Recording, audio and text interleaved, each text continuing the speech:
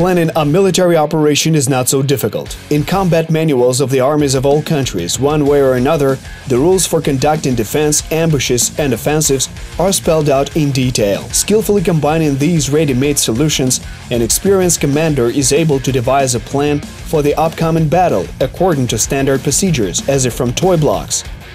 But as soon as the first tank is put into operation and the first shot is fired, even before the first shell fired by artillery explodes beyond the horizon, the well-devised plan collapses and improvisation begins.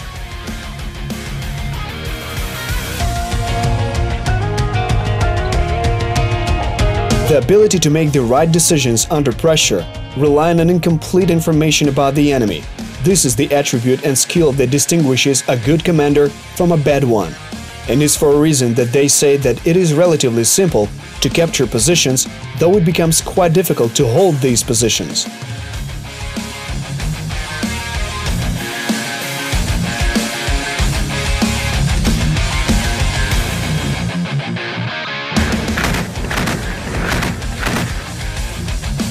This is about ATO, The History of War, episode 86. In the spring of 2014, the Russian Federation annexed Crimea, and in the summer its army launched an invasion of eastern Ukraine. As a result of a chain of battles, this attack was stopped, but the war did not end. Diplomacy and espionage, economics, propaganda and fighting – all these are elements of a hybrid war. This is exactly what we're trying to figure out.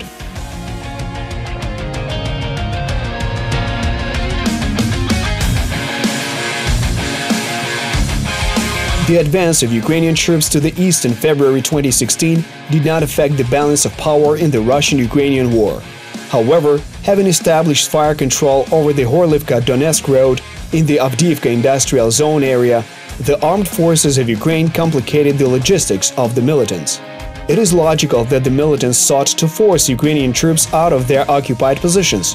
However, in February, DNR leaders expected a strike in the Azov region. As a result, an excellent opportunity for a counterattack was missed. Ukrainian troops were able to gain a foothold in the industrial zone and the battles took on a positional nature. But war is a large-scale event. On March 8th, militants tried to capture a Ukrainian observation post near the village of Trokhizbenka. A reconnaissance sabotage group of terrorists crossed the Siversky Donets River and secretly approached Ukrainian positions. However, saboteurs were discovered, a battle ensued, and as a result, the militants were forced to retreat. The hotspots of the ATO zone have traditionally been the neighborhood of Horlivka, as well as the Avdiivka-Opytne-Pisky section.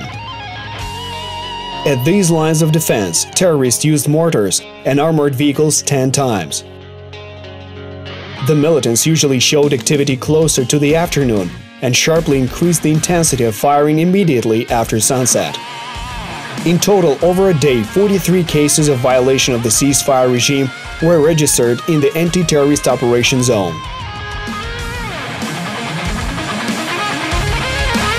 As a result of these attacks, eight Ukrainian soldiers were injured. We note that wherever this did not threaten the lives of civilians, the forces of the ATO fired back. According to intelligence units, in the first week of March, in the battles near Avdiivka, seven Russian troops were killed and another 19 were injured.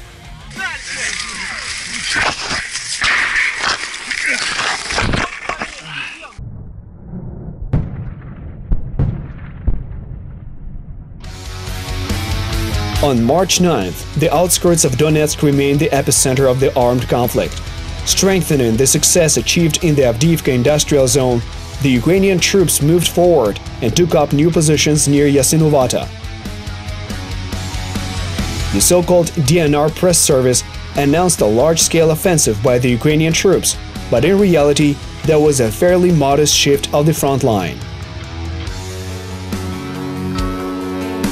It is important to understand here that the Avdiivka-Yasinovata area is well fortified. Any large-scale actions will be accompanied by significant losses of people and military hardware. That is why, in attempts to avoid serious losses and destruction, the Ukrainian army acted in this area very slowly and carefully. Trying to restore the status quo, The terrorists used barreled artillery in the area, which was immediately documented by OSCE observers. At the same time, striking at Ukrainian positions, the militants were guilty of negligence in aiming their fire, which led to serious damage to two residential buildings. By pure luck and coincidence, there were no victims. On the Svitlodarsk Bulge, Russian mercenaries used mortars and armored vehicles. In Marinka, Hranitne and Hnutove, sniper groups worked in the relatively calm Luhansk direction in the vicinity of the village of Novotoshkivske. During mine clearance operations, a soldier of the 24th Brigade was blown up and died after stepping on an anti-personnel mine. In the area of the town of Shchastia, an LNR militant and Russian citizen Vladislav Kondalov, nicknamed Samara and convicted four times, surrendered to the Ukrainian authorities. During interrogation, the militant said that in September 2014 he agreed to the proposal of the Russian Special Services and joined illegal armed groups in eastern Ukraine. As payment for participation in the events of the Russian Spring, people of the FSB promised Kondalov documents without a criminal record and a reward of 15,000 US dollars. However, Russian curators, hoping for an early death of the militant, delayed the payment, and in the end, the money was pocketed. As a result, he was disappointed in the ideals of the Russian world, laid down his arms, surrendered to the Ukrainian authorities, and collaborated with the investigation.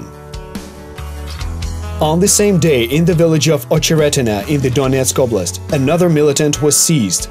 SBU officers detained the attacker, whose task was to conduct reconnaissance on the territory controlled by Ukrainian authorities.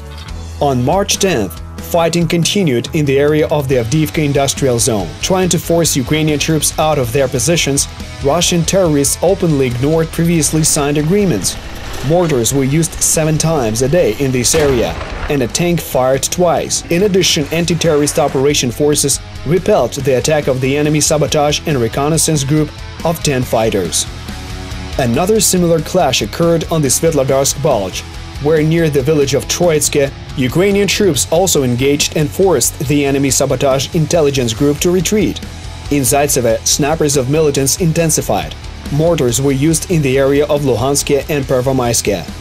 Two mortar attacks occurred southward. In Marinka, for unknown reasons, militants fired, presumably from a sniper rifle at the checkpoint. In total, more than 30 attacks and provocations took place during the day, but fortunately, losses were avoided. The next day, March 11th, the situation was seriously aggravated. The number of episodes of the use of heavy weapons increased significantly. The geography of the clashes has not changed much. The battles were fought around the Donetsk airport, near Horlivka and on the Svitlodarsk Bulge. In Avdiivka, a tank fired at the Ukrainian positions early in the morning. Mortars and grenade launchers were used during the day. In the evening, the terrorists used 2C-1 Gvozdika self-propelled artillery. At the same time, part of the shells exploded in a residential area. In the area of Pisky and Opytne, battles also continued all day long. In addition to small arms and grenade launchers, two snipers were registered, as well as fire from a 120mm mortar hiding in the buildings in the village of Staromykhailivka and thereby protecting themselves from counter-battery fire, the terrorists fired 54 mortar shells at Ukrainian positions in 24 hours. In the area of Chermalyk and Marinka, mortars were also used. In the latter case, numerous episodes of indiscriminate shooting at Ukrainian positions were also registered, as well as shelling of a team of repairmen engaged in reconstruction work on the Marinka-Krasnohorivka gas pipeline. Thankfully, none of the repairmen were injured, but the work was suspended. Several provocations occurred in the areas of Shirokine, Hranitne and Vodyane, and near Mariupol, a local resident was injured, who was driving a tractor and was blown up by an explosive device planted by the militants. During the day, as a result of hostilities, two Ukrainian servicemen were killed and one was seriously injured.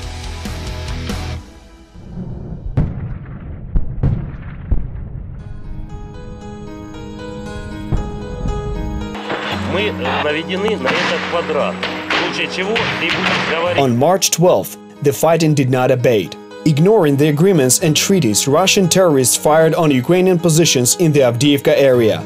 And while in an attempt To hide from the OSCE observers, the use of tanks and self-propelled guns was still episodic, the mortars were actively used. Over a day, more than 60 shells were fired at Ukrainian positions.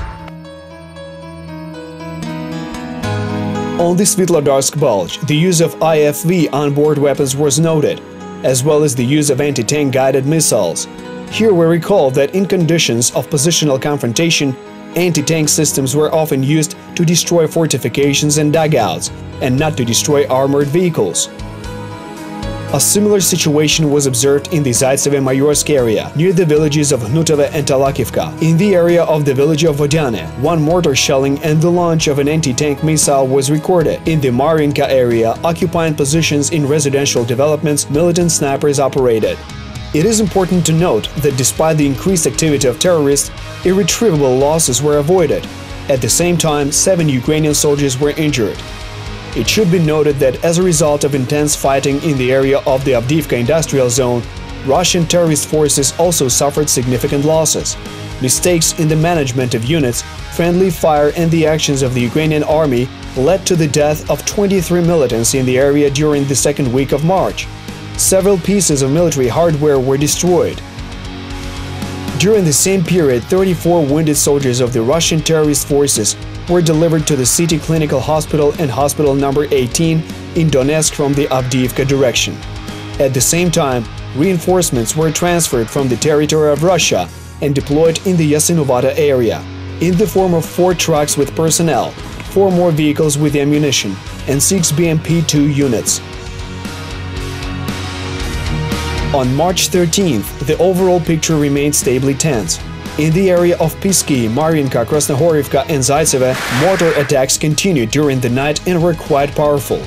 In the Avdiivka area, in addition to mortars, for several days in a row, barrel artillery was used. Fearing counterattacks, the terrorists located their guns on the territory of the settlements of Spartak, Yakovlivka and Yasinovata and fired from several directions at once. During the day, there were 43 cases of the use of weapons, and with every second shelling, heavy weapons were used, which ultimately led to the death of one Ukrainian soldier and another soldier was wounded.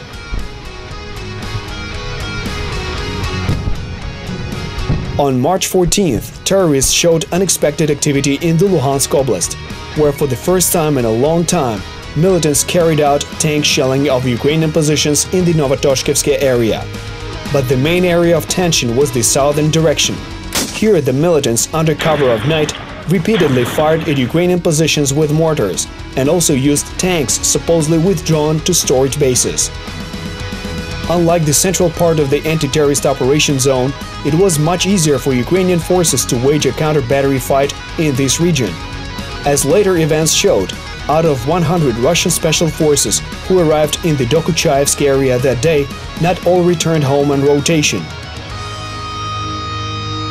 And part of the equipment, among which were Tiger armored vehicles, was later destroyed.